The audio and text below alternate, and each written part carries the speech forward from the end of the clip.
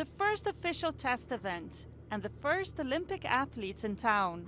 A taste of the games that will start here in two years' time.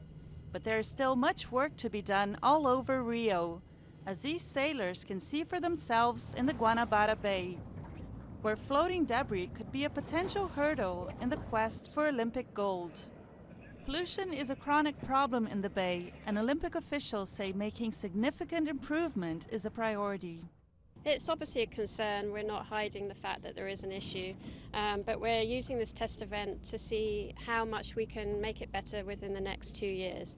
So we're really concerned about the safety of the athletes, their health, and the risk of floating debris on their boats. But we're working really hard to try and reduce those risks as much as possible. This is what the Olympic Park should look like in two years' time. But for now, it's just a massive construction site. A double shift of workers is racing to finish the venue and authorities say everything is just about on schedule.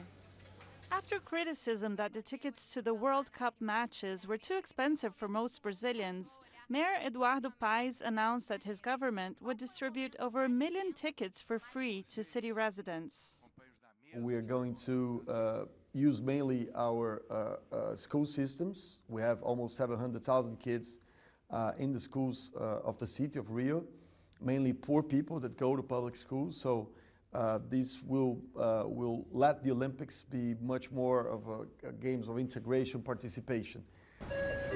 High-speed bus corridors will connect distant areas and improve mobility in a city that suffers from daily gridlock. For now, traffic is only getting worse, and residents are left hoping the two years pass by quickly and leave the city with the legacy of improvements they've been promised. Júlia Carneiro, BBC News, Rio de Janeiro.